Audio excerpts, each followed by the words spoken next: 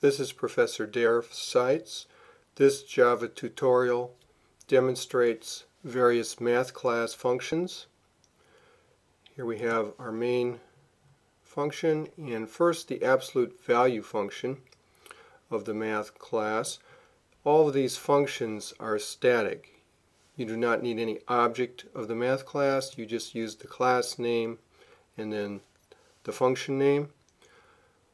Our output will be annotated to show the actual code that's being used and the category of functions being tested and then the output.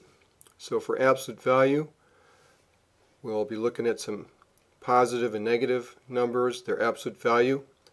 It should make them all positive because absolute value is the distance from zero. It's always a positive result. Then the log, which is the natural logarithm, base e, that's the 2.718, etc., irrational number that has certain natural properties.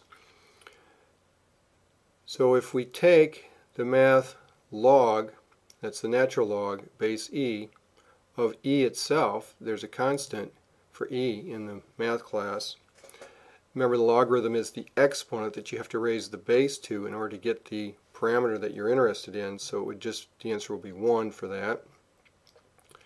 Then we look at log base 10, which is the log 10 function. And we take log 10 of 1000. 1000 is 10 to the third power, so we should get a 3 for that. There's a minimum function, min. We'll take the min of two positive numbers and then two negative numbers because their magnitude uh, becomes a, diff a, different kind of effect whether they're negative or positive. A max, to look at the maximum of two positive and two negative numbers. Power function, the power function here first has the base to use and then the exponent to apply to it. This would be 7 squared, 7 to the third power.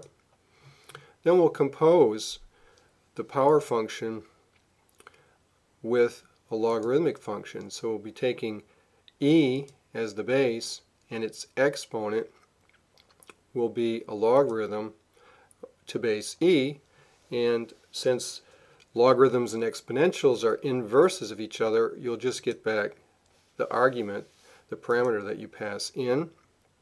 And then in the reverse order we'll be looking at the log, again this is base e, of e to the to a power.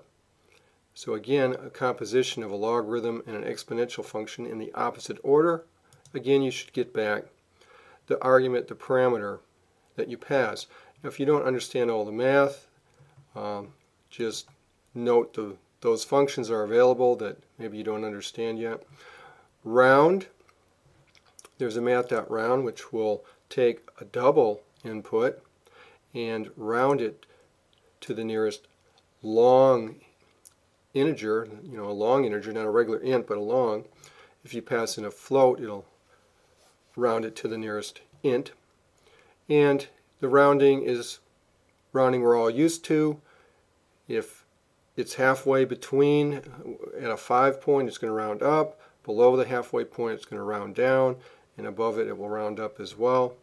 The halfway point is called a tie in the API documentation. So we round some, some numbers here. We're going to show pi and use it because it has uh, many more fractional digits there to look at. We're going to try rounding pi and then doing some calculations that we'll look at in the output to see if there's some way we can uh, round to something other than a whole number, round to some certain number of fractional digits. And after looking at that and experimenting with it here in the output, we'll show you momentarily a function that was written in this particular example called round2 that will take the number and the number of places, decimal places to the right of the decimal that you want to round to, and we'll round it to that precision. The trigonometric sine function of some 0 and pi over 2 which corresponds to 90 degrees and then 3 where's pi? Well there's pi. Pi over 2 pi 3 pi over 2 and 2 pi those are the 90 degree increments around the unit circle. Looking at the sine, which is the y coordinate of the point on the unit circle it should go 0, 1, 0, negative 1 and back to 0 going through the sequence. Square root of 625 that would be 25 square root of a negative 1 we'll see what happens there. Um, that would normally be an imaginary number i converting back and forth between degrees and radians. To convert from radians to degrees there's a toDegrees function. So it's converting from radians. We'll give it some radian measures, pi over 2 and pi in particular, and then converting from degrees back to radians, we'll take 180 and convert it back to radians.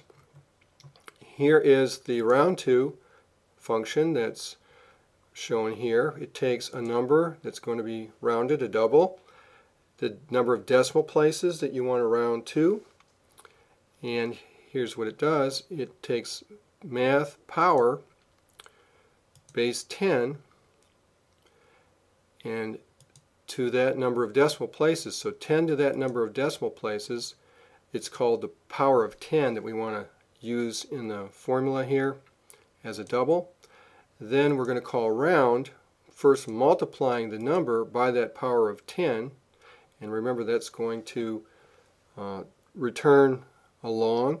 Then we're going to divide by the power of 10, which is a double, and that will actually give us what we want and we'll return that result. Let's run the output now. Here's the output in the console window. First absolute value, absolute value of 3 is 3 and negative 3 is also 3. Natural logarithm log, this is base e of e itself, is 1. Here's base 10 logarithm. Log base 10 of 10 to the third, 1000, is 3.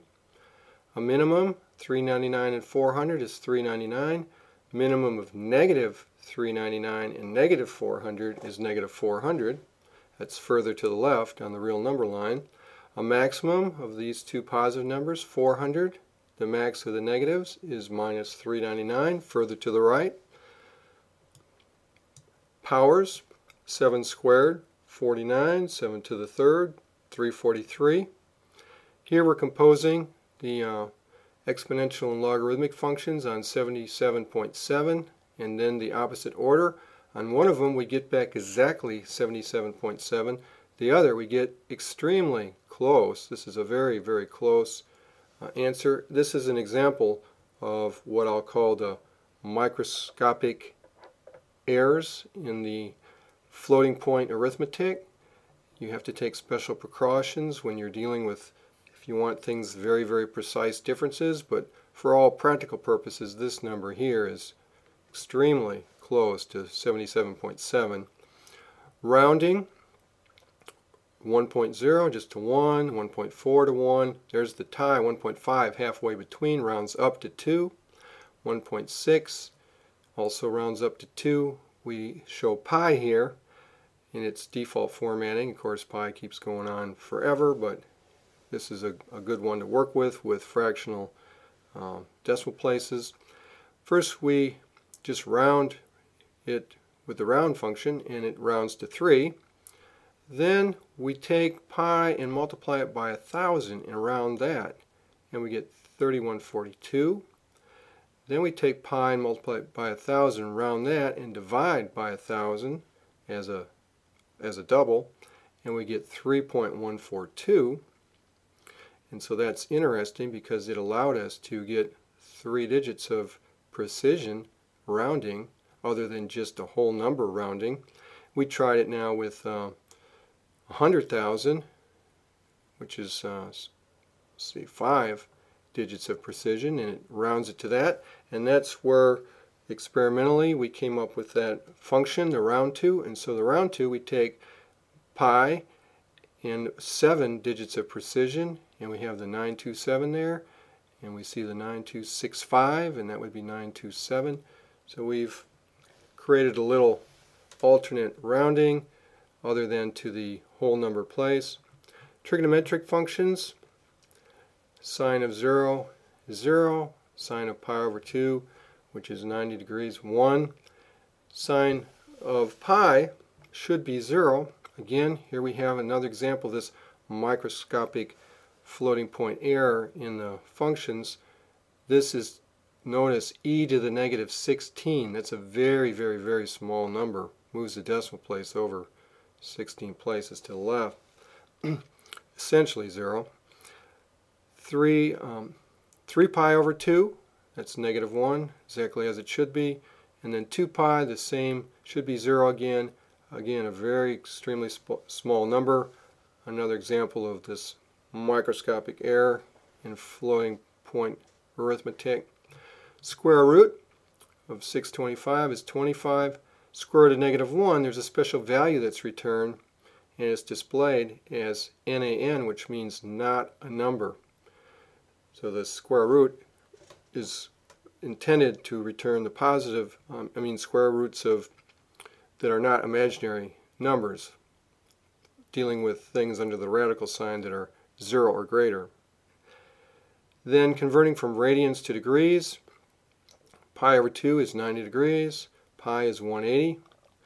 And going the other way, the um, degrees to radians, 180 degrees is pi, and there's pi right there. Let's go back to our source code now. The math class has many more mathematical functions available as static functions. But in this tutorial we've looked at the absolute value, the natural log, the base common logarithm base 10, min, max, power exponentials, rounding, the sine, trigonometric sine function, square roots, converting back and forth from degrees into radians. And we see that the math class is very useful for doing our various kinds of mathematical and business calculations.